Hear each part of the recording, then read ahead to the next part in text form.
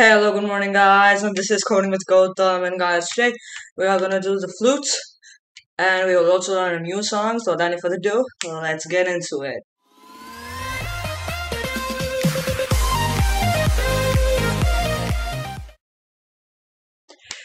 Okay, guys, so now we will just do a small exercise.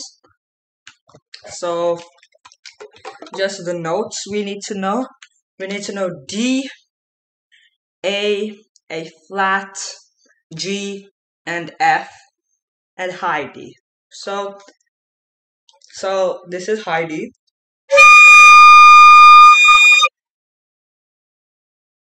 You have to keep your ring finger and your middle finger only.